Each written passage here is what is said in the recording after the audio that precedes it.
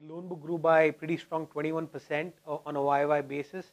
About 80% of the loan book expansion in the quarter was driven by the corporate segment, uh, which saw loan growth of 14% on sequential basis.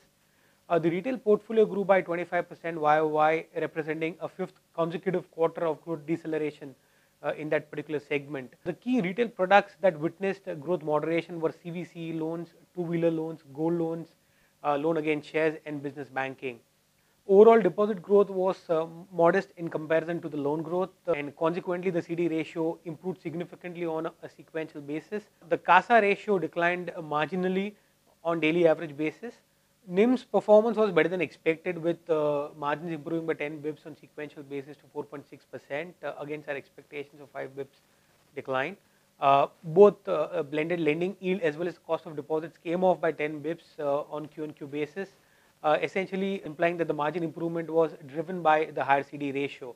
Our fee income exhibited weakness with growth being modest at 13% YOY. Treasury income was higher driven by significant bond gains uh, and so was the forex income, uh, which was driven by the higher currency volatility. The higher treasury as well as forex drove an improvement in the cost income ratio. Uh, slippages surprised slightly on the negative side uh, with uh, gross NPLs increasing by 3.8 billion on sequential basis. It is one of the highest increase in absolute terms seen in the recent quarters. In the retail segment, delinquencies were uh, largely contributed by the CVC portfolio while it was granular in the corporate segment. With the bank providing as per regulatory requirements on the fresh NPLs in the corporate segment, the PCR declined by uh, 5 percentage points to 75% in the quarter.